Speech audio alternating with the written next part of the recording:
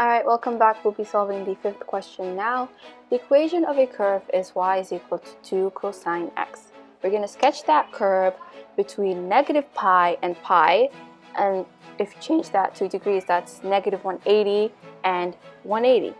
And we're also going to state the coordinates of the point of intersection with the y-axis.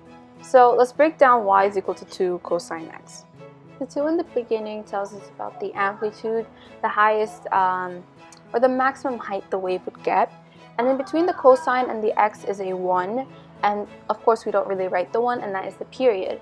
And that is the number of waves between 0 and 360 or 0 and 2 pi. And then you have plus c, but in this case there's no plus anything, but that plus something would be the x-axis shift. So instead of it starting at at y is equal to 0 it starts at like y is equal to 2 for example if it was plus 2. But anyways, now we just need to sketch it out so use a ruler of course and a pencil when you're doing that. And now we need it of course between negative pi and pi so you don't have to add that. We're just going to place it in the calculator and before that we're going to use rads. We're going to change it to rads and not degrees because that's what the question is asking for. So 2 cosine 0, the first thing is going to be at 2, the first point. Then 2 cosine negative pi is going to be the same as 2 cosine pi. It's just going to be in opposite ends.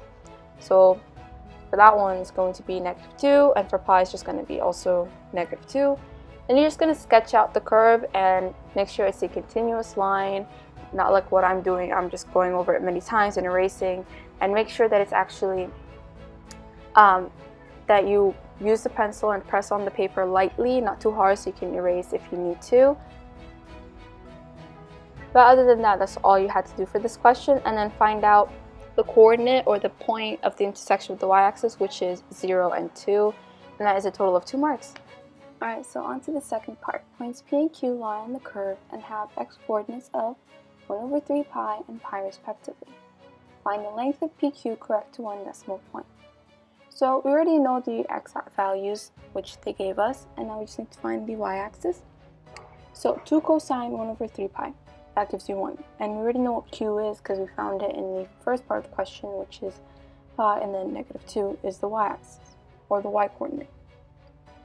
So now the length of PQ, you're going to use the formula, um, the distance formula. So under square root 1 over 3 pi minus pi, open bracket squared, plus 1 minus negative 2, the whole thing squared. And you just solve that using the calculator. Then PQ is equal to 3.7 and again to one decimal place. So be careful with that and that is a total of 2 marks. That's it. Alright, so part 3. The line through P and Q meets the x-axis at h, h0, and the y-axis at k, 0k. Show that h is 5 over 9 pi and find the value of k. So we're always going to start by writing the, what we need to find out first and um, what we know. And then what you're gonna go do is go to this drawing that you sketched out in the beginning and you can like place the points there to visualize it. But of course make sure you erase it afterwards because it's not part of the first question. You could lose marks. Right, so where it crosses the x-axis is the point H and I'm just going to extend here the drawing and where it meets the y-axis is K. So in order to find h and k, we need to get the equation of the line PQ. And we're going to use y is equal to mx plus c. m is the gradient and c is the y-intercept. So since we have both points, we can find the gradient. You're going to use the equation where it's just like um, the y-coordinates, you're going to subtract them by, by each other over the x-coordinates, you're going to subtract them by each other. So it's going to be 1 minus negative 2 over 1 over 3 pi minus pi.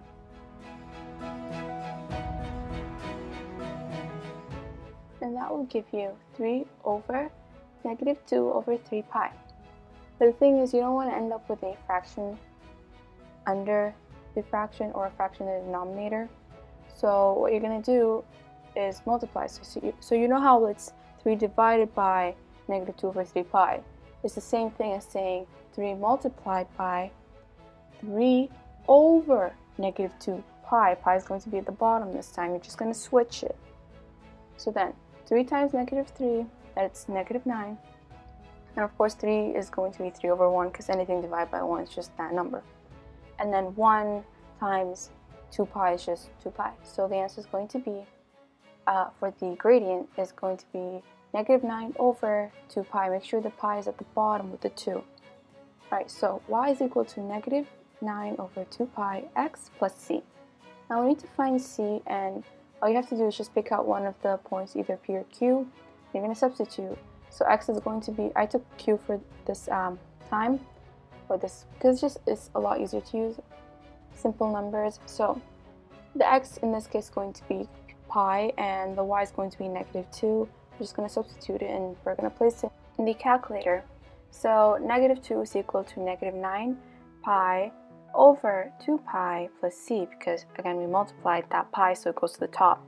The two pi's they'll just end up crossing out because well pi divided by pi is just 1. Anything divided by itself is 1. So negative 2 is equal to negative 9 over 2 plus c. Move the negative 9 over 2 to the other side and c is equal to 5 over 2. There you go, we have the equation.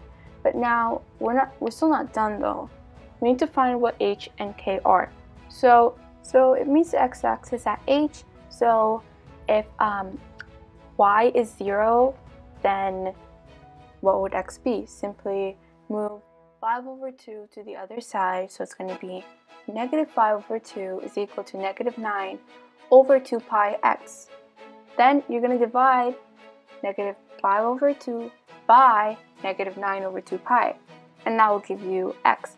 And what is x? x in this case is h and that would give you 5 over 9 pi and that is actually correct because it shows us or it tells us in the question to show that h is 5 over 9 pi. So I'm just going to place that in the calculator because it just makes it that much easier and there you go 5 over 9 pi. Alright so then the last part which is the easiest part and find what k is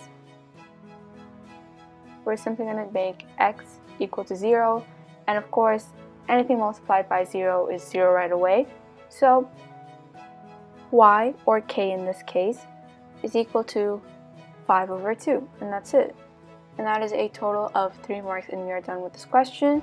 And on to the sixth. Alright, so question 6. The horizontal base of a solid prism is an equilateral triangle of side x centimeters. The sides of the prism are vertical. The height of the prism is h centimeters, and the volume of the prism is 2000 centimeters cubed. Express h in the terms of x and show the total surface area of the prism A centimeters squared is given by this little formula they gave us right now.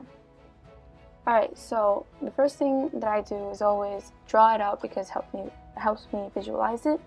So we have the volume of the prism, which is the base area multiplied by the height.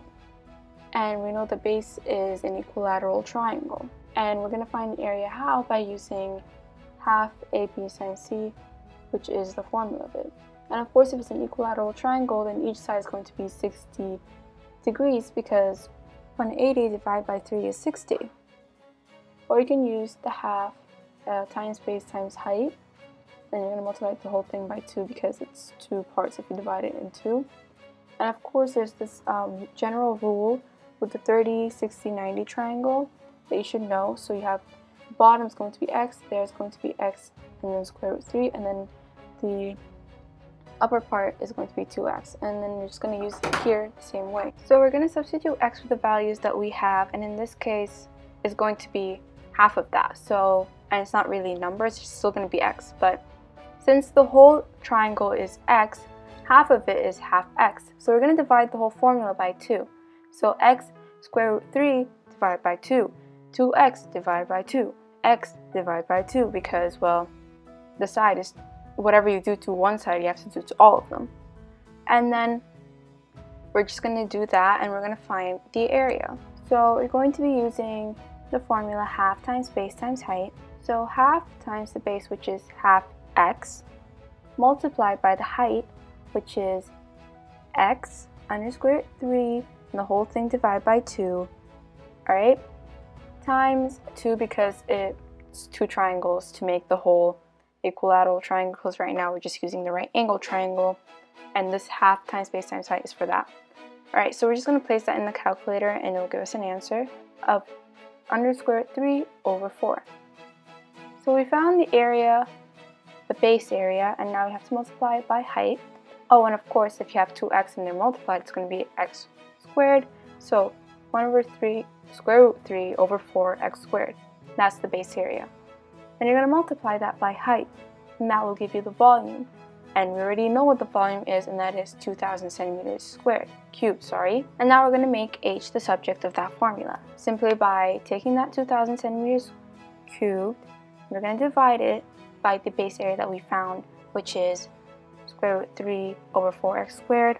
Because when you want to move something that's multiplied to the other side, you're going to end up dividing. You're going to do the opposite.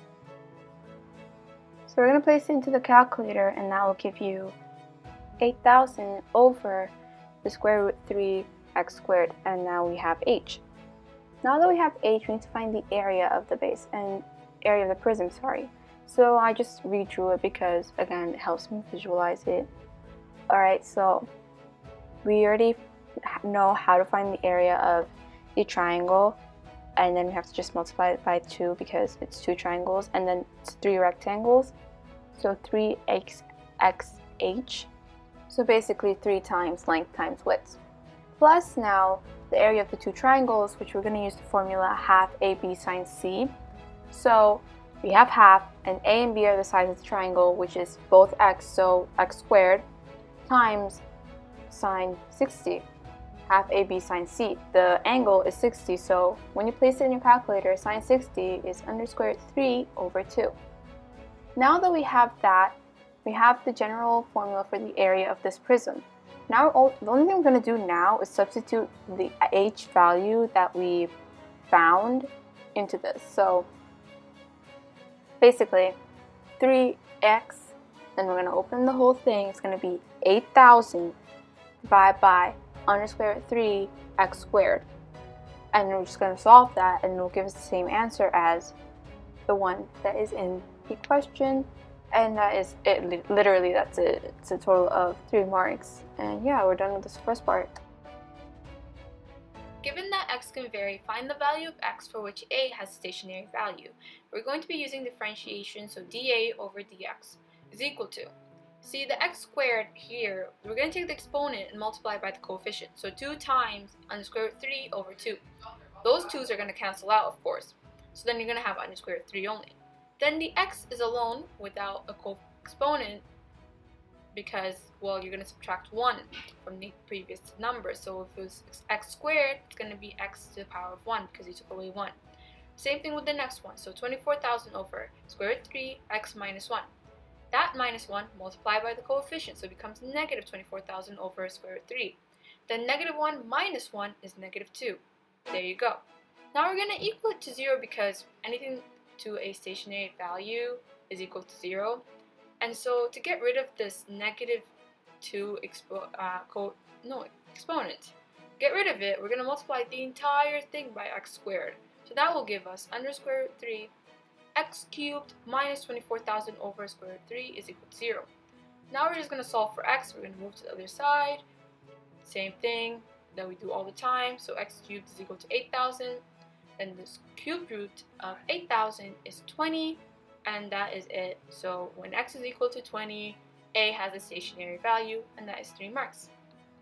Alright, so now for triple I. We're going to be doing the same thing we did in double I. We're going to take the dA over dx and we're going to differentiate even more. So it's going to be d squared a over dx squared. So dA over dx was under square root 3x minus 24,000 over square root 3x minus 2. So 1 times square root 3 is just going to be square root 3 and 1 minus 1 is 0. Anything to the power of 0 is 1 so x is gone in this case. Now negative 2 times the negative 24,000 over that we're go it's going to be positive right so it's going to be 4,800 over square root 3 x minus 3 because negative 2 minus 1 is negative 3. So we found that now, and we just need to find the stationary value. So what that means is that we're going to substitute x with 20. We're going to figure out whether this value was maximum or minimum. So we're going to place that in the calculator, and that would give you a positive number. So it's going to be greater than 0. And if it's greater than 0, then that means it's a minimum. And that's it for this question. Boom, two marks.